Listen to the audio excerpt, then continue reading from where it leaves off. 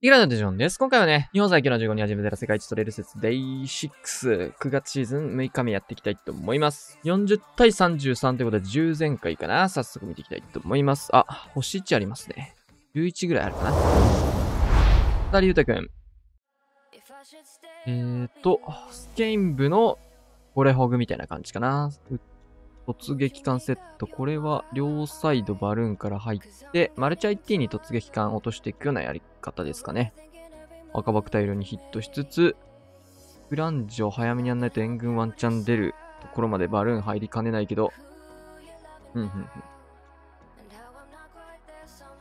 大丈夫そうかな？クランジョーモノリスの方を打っていきつつ、第1クロスこの隙にしれっと追っていって、モノリスの方がちょっと進みが悪いんですけど、ここで一気にグーンといきましたね。ターンホール起動しない方がいいんだけど、起動はできました。ゴーレムキングでタウンホール見つつ、クイーンで投石の方を狙っていくような形で、バルーンをね、アーチャーターンに出したんですけど、ここはテスラがあったので降りきれずという形でした。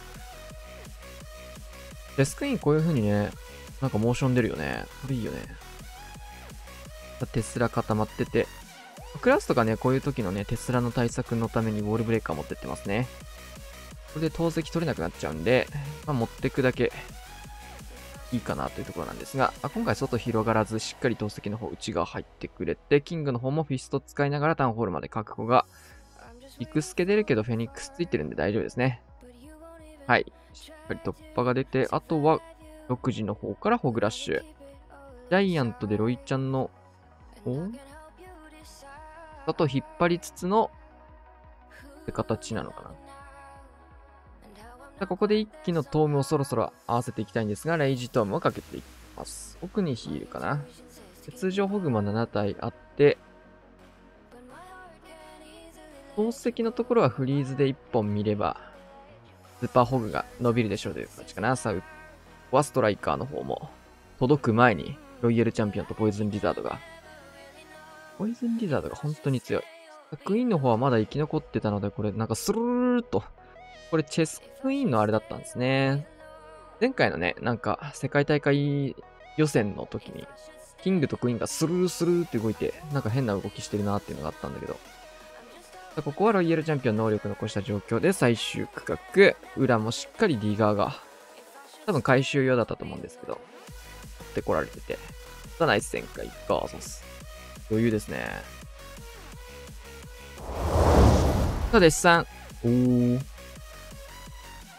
花火かな？これの構成だと。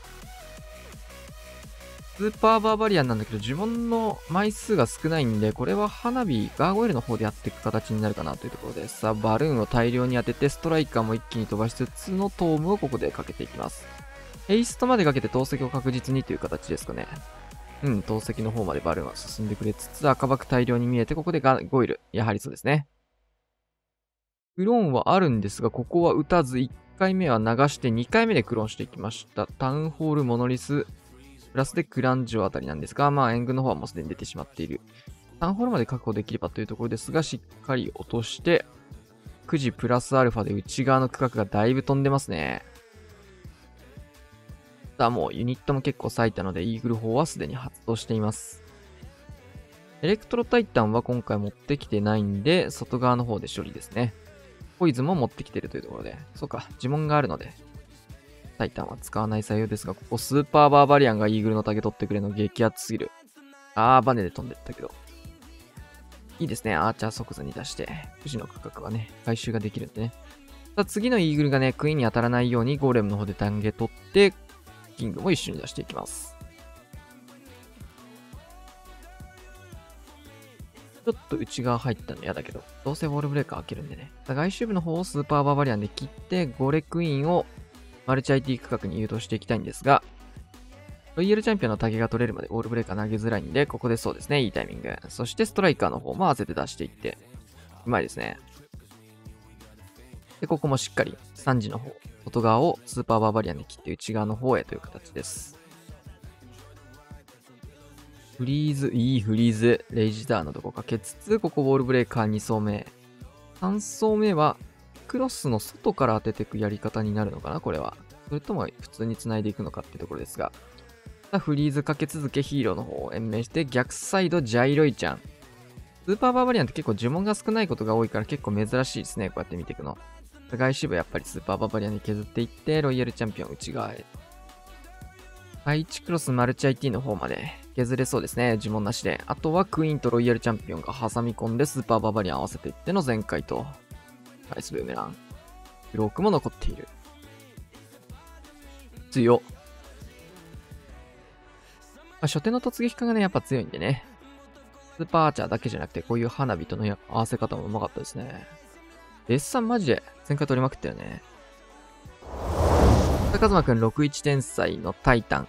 今月はずっとこれだったという形ですが、2時の金庫前のテスラスペースがすごいですね。めちゃめちゃ出てきそう。美容師なんだ。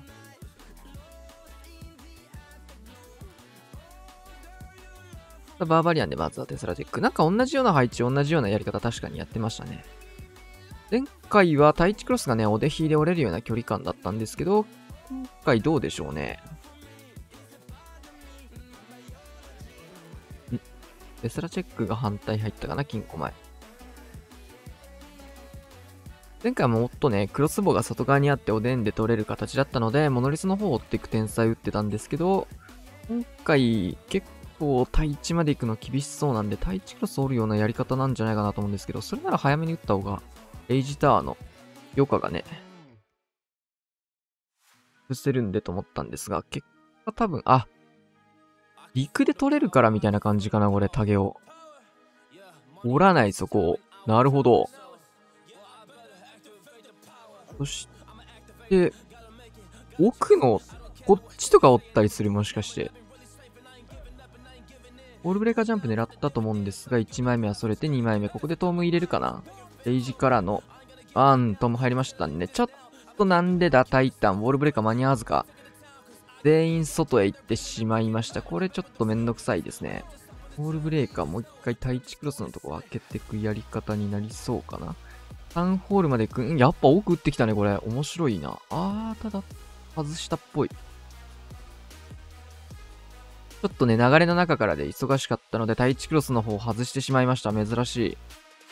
さすがにそれは、でかいミスにはなっていくんですが、大工の方は届いてないね。大工も関係ない位置だったというところで。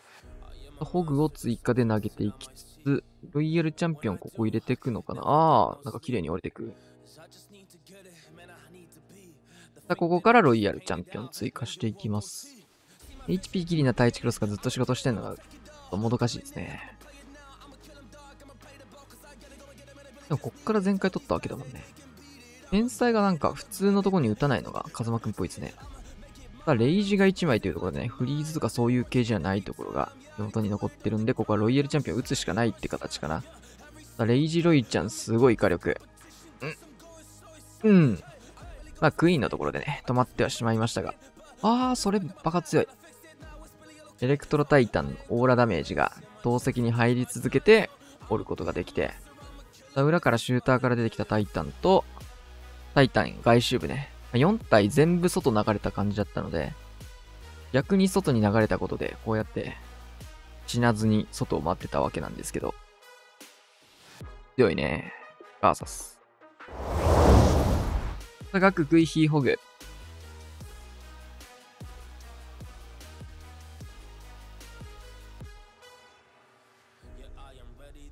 今月は額は全部これだったかな。さあ、ジャイキング展開してからのクイーン展開。これは透析区画にキングを戻していきつつ、ジャンプはないね。ボールブレーカーもない。クイーンを何かしらで誘導していくんですけど、インビジブルとかをワンチャン使う可能性ありますね。ここ結構ジャンプ、うん。バルーンを出して、大工を切り、うわぁ。オメグヒット。ちょっと嫌だな。やはりインビジブルで誘導してきましたね、ここは。そういう形なのかなと思ったんですが、ポイズンタワー撃たれる前にモノリスのターゲット取りに行ったの場合ですね。バルーンは結構今回多めの編成で、3体ね、大工に当てたりとか、援軍の方にはしっかりポイズン打ちつつ、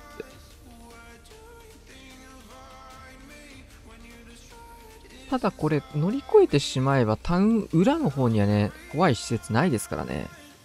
エアスイーパーダイクっていうところはね、ポイズンタワーを受け、えー、タウンポイズン受けながらでも全然怖くない。射程も短くない。短いしね。こういうところでタウンクイヒを選んだ理由かなというところです。ちょっとイーグルの竹もね、そろそろしんどいので、ホグを同時展開して進めてあげて、ドリルを外周部流してますね。キング使ってるんで、代わりにドリル、サイドカットのような使い方。クイーンの方はクローク使って、ここでトームかけてきました。ストライカーが一応3体いるんで、キングに1回ここ合わせたいですね。2体ぐらい。うん、来ましたね、2体。で、マルチ IT フリーズかけつつ、このまま打っちゃったんだけど、クイーンに焦るストライカーをね、ここ狙っていかなきゃいけません。うん、ドリルが入った。から、えー、スケルトンの呪文を置くかなこれ、クイーン投石そうだね。その辺打って、一応バルーンがまだ手元に残ってるので、外周部の施設を削りに行くような判断ですね。大砲をバルーンで削って、外周部のタ、えー、テスラアーチャーターのところをホグでやると、投石のところまで一直線のホグルートが、ロイヤルチャンピオンも綺麗にルートが取れている。あとはロイヤルチャンピオン能力残っているので、適当に打ち込めば終わりです。バルーンもまだ2体いますね。結構バルーンの数を多めに持ってきた。うん、ナイス旋回。クイーンのがちょっとしんどくなりかけたんですけど、対応が早かったですね。ナイス旋回です。で、ヒロヤさんも、これはスケルトンインビジブルですね。最近ヘイストの枚数ってやっぱどんどん減ってきた感じですけどね。ヘイスト2枚でも、割と3枚だと多いなーって感じになってきて、2枚が適正レベル。シューターから入ってきました。これは、コウモリも2発あるんで、うん、イーグルとタイチクロスのところ、これは打ち込んでいきます。強い。イーグルからまず折れてって、タイチクロスも折れてって、HP の高いイーグルの方から先に折れるのもちょっと面白いですね。コウモリが若干イーグルに寄ってたのかな。で、2、3施設破壊をね、取っていきつつ、これは、直撃のターゲットをキングで拾っていく。うまい。そのためにちょっと時間を待ってた感じですね。このヒーローうまいね。で、ガーゴイルで金庫。中身次第ではこの金庫回収っていうのが結構大事になってきますね、シューターの中身。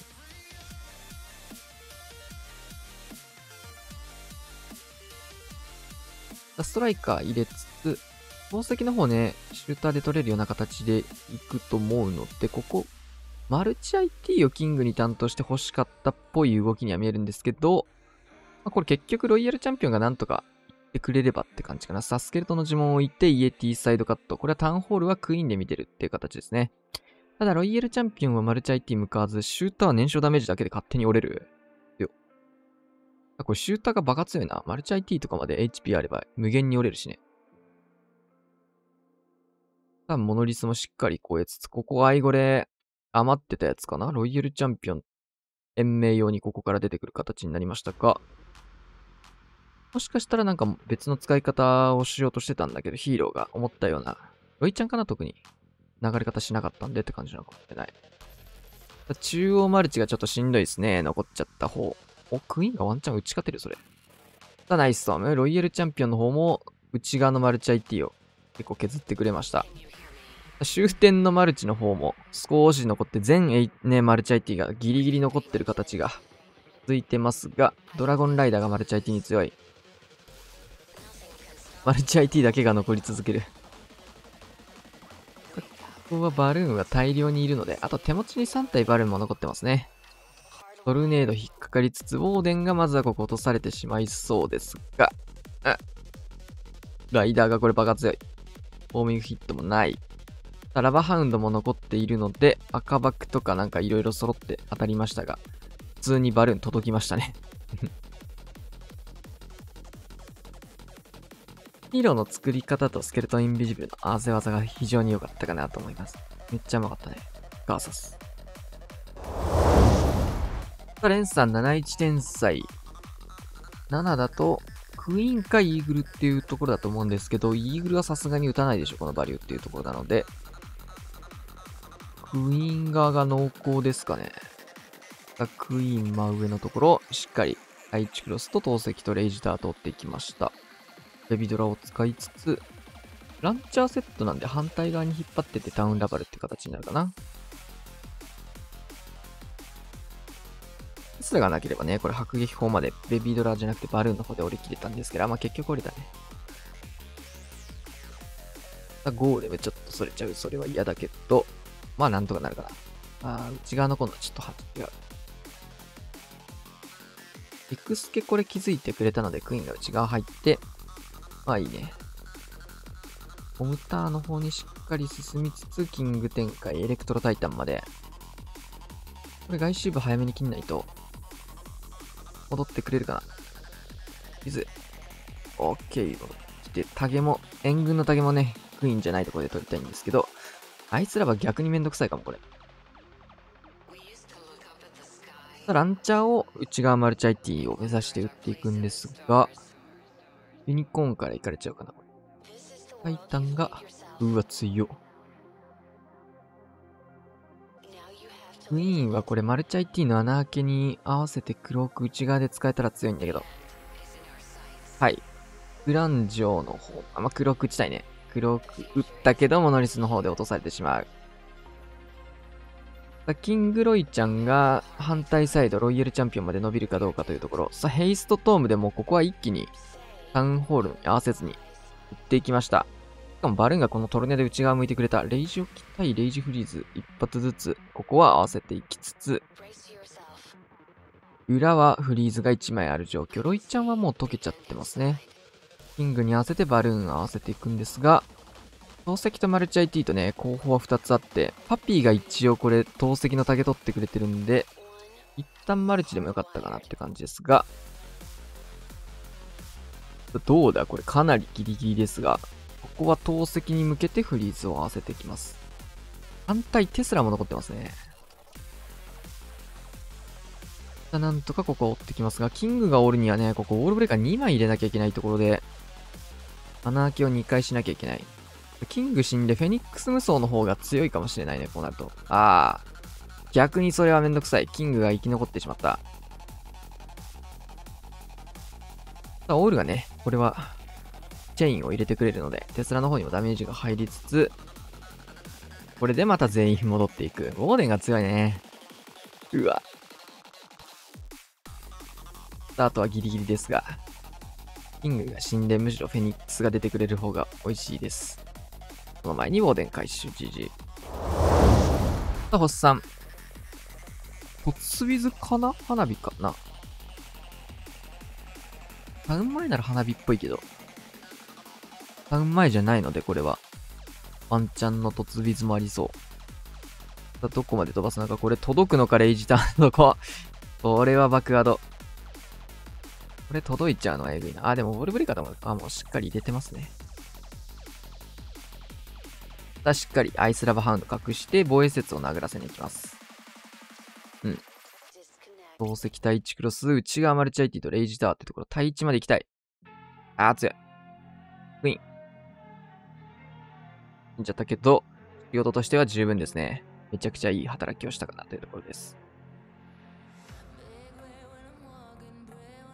これでヒーロータウンホールまで入れて、多分クイーン単体で見てキングロイちゃん反対サイドとかがよく星さんの昔のスタイルですけど。いいね。ストライカーのタイミングは良さそう。完璧。うん。外周流してキングタウンホールとか？キングを6時から使うかな。うん、そうだね。アイゴレとキング使ってサイドカット入れつつ。サイドカットというか、火力及びクイーンが結局内側に入れるようなね、準備をしてるような感じ。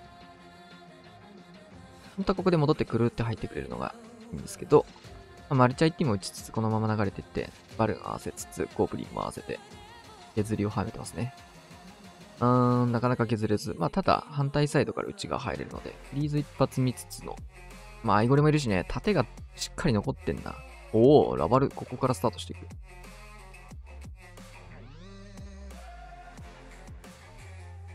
結構ね、ラバ1消費しちゃうやり方なんですが、ああ、いいですね。クイーンに入ったところでトームをしっかりすかさず打っていく。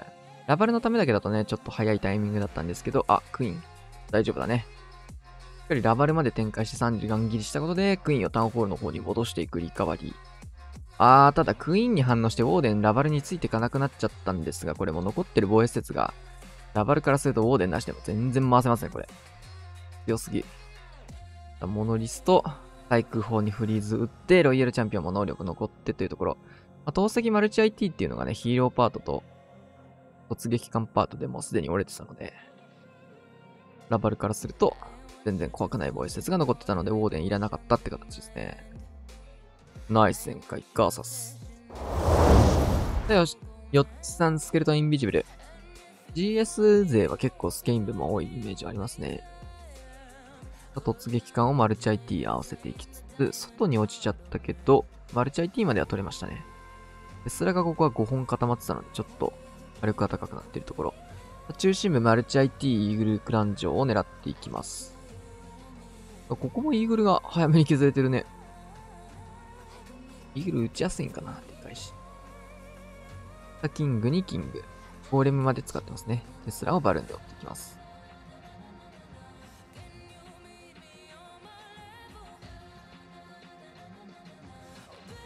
サイドカットにクイーン使っていくんですけど、ちょっとね、キングの立ち位置が動いちゃったんで、エリクサータンクの方に戻ってきてというところですが、ちょっとテスラが固まってるんで、これキングだけでタウンホール見るには厳しそうなんで、インビジブルワンチャンですね。ここまで来たらインビジブル。あー、いい取るね。だるいね。あった、突破先にできました。結構対策されてる感じあるね。テスラも5本あって、まあ、ただ、そのうちの3本をこれで折ることができて、クイーンのクロックからロイヤルチャンピオンつないで、ラバルは腰ではどっちから行くかな？エアスイーパー向いてるけど。下から行ってトーム合わせる方が、パッと見は簡単に見えるけど、そうだね。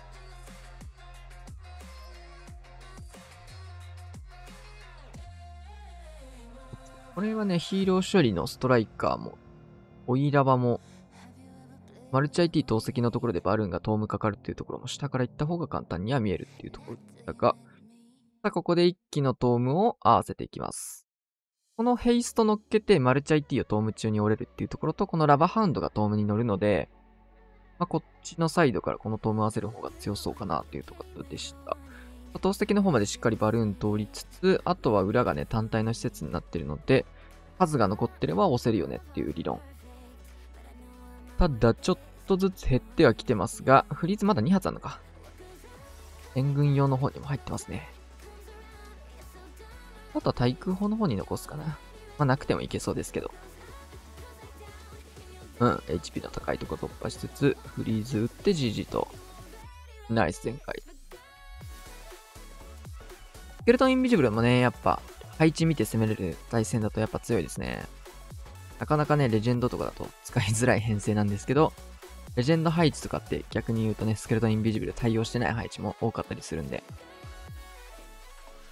なんかイーグル砲を狙うっていうのがね、ヒロヤさんとヨッツさんやってましたけど、なんか対戦とかでもあんまね、イーグル砲って狙われない施設になってるので、そういったところでもね、裏ついた形かなと思います。ET さん61タイタン。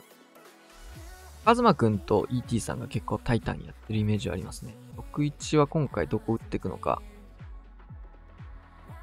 まあ、インビジブルタワー落とすっていう意味合いでやるならモノリスになるかな。うん。そうですね。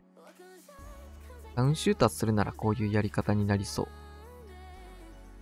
ただこれタウンホール起動しなかったんで、あ、ボムタワーで起動するのか、これ。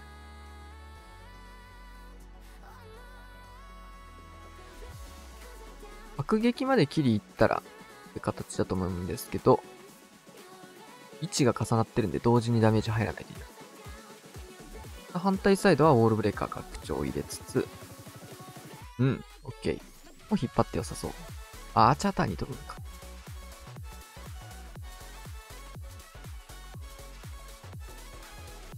結構、あ、それボムタワー削れちゃうとむしろタウン起動ができなくなるぞ。反対サイドタイタン使って一気のレッツゴー。ダイクがね、ボムタワー直してくれてますね。壊れないでほしい。さあ、ウォールブレーカーしっかりマルチ IT の方へ進めるようなやり方。うーん、タウンホールは壊れてしまいました。違う、ボムタワー壊れてしまいました。援軍の中身でタウンホール触れればまあって感じ。ちょっとウォーデンね、もちょい早めに引っ張ってもよかったんじゃないかなっていうところ。さあ、やはりこれは、うん、シューターの方がたげられてしまいました。まあ、援軍に向けて、あ、違う、タウンホールに向けて援軍に出てきたとこ。これはね、リカバリーのレイジを合わせるところですね。リクスケ一瞬で、タイタンが、いたことすら気づかせないような形。タイチクロスまで EAT 入ると強かったんだけど、ことを壊すことはできず。この辺ね、ちょっと細かいところですけど、一つ一つ、でかいですね、要素としては。ボムター壊れちゃったからタウンが起動できなかった。シューターバックアウト取れず、みたいなところ。そのしわ寄せがね、内側でレイジが一発少なくなってるというところで、この突破力も半減してるっていうところで、なんか、ありがちな、なんか、見、見落としがちなミスみたいなところがデッドしてね、今回のボームタワー壊しちゃうと。攻めてる時ってこういうとこ気づきづらいよね。見てる側はね、フラットに外から見れるんですけど、ロイヤルチャンピオンが能力残ってるので、ブーメランかましつつ、クイーンの方も黒く残って、余裕ですね。ちょっとね、シューターの方で思わぬ事故があったんですが、余裕の全開です。ルートが強かったですね。さあクラウス61天才。この配置はあれだ、ね。レポディットゲーミングが世界大会予選を勝ち抜いた時の配置ですね。キングをこれは内側モノリスのところを追っていくレイジターのところまで。さ、ウォールブレーカーつけて、クイーンを下側流しつつ、ウォールブレーカーもう一回来た。もう拡張2回やっていく。これ内側そうなんだ。イーグルの方に綺麗に金が入るんですね。まあ、もしかしたら動き方はある程度知ってたのかもしれない。アイゴレベビドラ使っていきつつ、ちょっとタイチクロスのタゲがこれクイーン入ったんでワンチャンフリーズを視野に入れてるかも。はい。あただでもこれは、でも黒く使うとね、そう、ウッドランチャーにタゲ切り替わるので、これギリギリまで黒く溜めつつ、クイーンの方しっかり切って、これ内側の方にね、これイエティがもう進む準備、ああ、でもマルチ IT まで降りちゃった。ポイズン合わせていきたい。ナイス。ん？中央リクスケ珍しい。たキングの方もフィストを使ってイーグル折ったキングがここ透石ロイちゃんの方まで伸びちゃう。良すぎる？クイーンは下の方まで伸びていって、これモノリス天才っていう発想になかなかならないよね。伸びすぎでしょ。配置の方がギリギリ。ロイヤルチャンピオンが裏に残してこれはラバルをタウンホールからかな？ああ、惜しい。フェニックス透析まで掘ってくれた。フリーズかけつつ、2回目はこれ、あ、ウォーデンがやべえ動きしてる、これ。レイジトーム行くしかないですね、ここは。ちょっと、ラバハウンドにターゲット取ったか、すごい前の方に走っていっちゃいましたね。裏からロイヤルチャンピオンつけて、愛するゴーレムがね、防衛援軍残ってるんで、合流する形になっちゃうかな。あんちゃんなんかゴブリンとかでタゲ取るのもありだったね。ヘイストでマルチ IT の方まで走らせつつ、GG と。強い。予定のヒーローと天才の組み合わせが強かったですね。モノイスオールっていう天才であんなに伸びるんだ。内側のね、イーグルの奥が切れてるので、イーグル折った後にもう一回戻っていくっていう。これめちゃくちゃ強いな。この天才発想として生まれづらいね。うま。さあ、森尾さんも61天才。フイヒーホグやってることが多かったんですが、タイタンが、今日は3回やりました。10日弊社側に、えー、型に切り替えて、ボールブレーカー使っていきつつ、タウンホール反対からのインになっていくんで、天才はそうですね、片方の対地マルチをって片方をウォールブレーカーで誘導っていうのが自然には見えます。そうですね。配置マルチを片方追って、残った方を穴開けして、マン、ボールブレーカーを、あ、じゃあジャンプをね、エアスイあたりに打っていくと、ルートとしては綺麗かなというところですね。最後で先頭に走らせていって、反対サイドはキング、10日弊社。ネクロもここをすかさず展開することで、キングの方を内側の方に誘導したい流れですね。やはりウォールブレーカーやってきました。対地クロスのところをつけたいんですけど、ちょっとイーグルの方に行っちゃったのと、誰だっけ？最初のアタック。カズマくんだっけ？の時と同じように、ちょっとウォールブレーカーの穴開きが間に合ってないので、タイタンの方は外に行ってしまいました。ただ、ここから合流はできそう。クイーンの盾がいなくなったので、援軍処理がちょっと、クイーンへの被弾が高くなってしまってます。うわ帰ろ。クイーンクローク、ここ耐えたのは偉い。そしてここフィスト使いつつのトーム合わせていきたいんですけど、変なとこにね、キング、えー、クイーンがいるんでね、クイーンの方はジャンプを無視して、クイーンじゃない、キングの方は、ひたすら壁殴ってくれている。さあ、これもなかなかやばい位置に、インビジブルターンのフリーズが、あ、じゃインビジブルが入ってことで。そしてクイーンはクロークここでロイちゃん処理に使えて、ロイヤルチャンピオンは反対、6時の方に展開されてます。強い。終点投石まであとはぐるぐる回って終了という形ですが、うん。ここでブーメラン打たされていく。呪文もないんでね。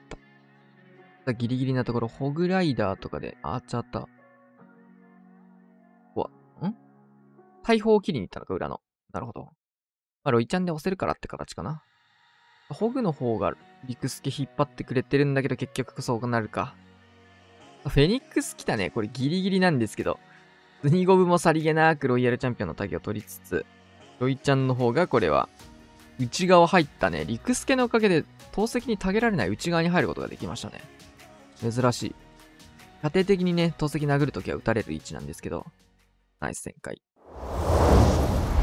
今日は11全回と非常にいい形でした。タイタンがね、かなり多い回だったかなと思います。天才の使い方がね、結構変わってきたかなってところで、カズマくんとクラウスの天才のやり方ってテンプレのやり方じゃないですよね。普通だったらここに打つみたいなところを打たないことで、天才対策されてる配置を取るみたいなところでね。ま今後はこういうやっぱ柔らかい発想をできないと、世界大会上の方ではね、勝ち上がれないかもしれないですね。なかなかできないよね。うまくいかないとね、なんで定石から外れたことをして失敗するんだみたいな感じになっちゃうし。はい。